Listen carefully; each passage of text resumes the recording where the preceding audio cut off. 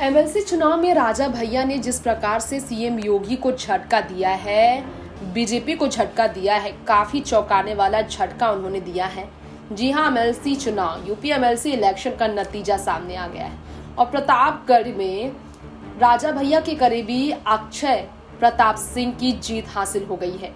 जी हाँ UP MLC election में उन्हें शानदार जीत मिली है।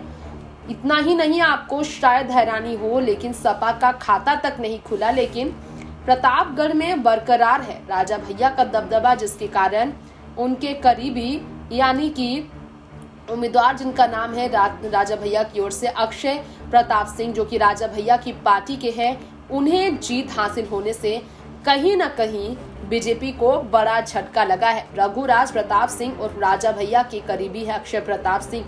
जिनकी जीत हासिल हो गई है। उन्हें तो ऐसे में एमएलसी चुनाव में बीजेपी की जीत तो है, लेकिन राजा भैया के गढ़ में बीजेपी का झंडा नहीं लहर पाया। मालूम चलता है कि समाजवादी पार्टी को तो झटका लगा ही, लेकिन राजा भैया अकेले ही बीजेपी पर अपना दबदबा प्रतापगढ़ में बनाए रखने में कामयाब हो गए हैं।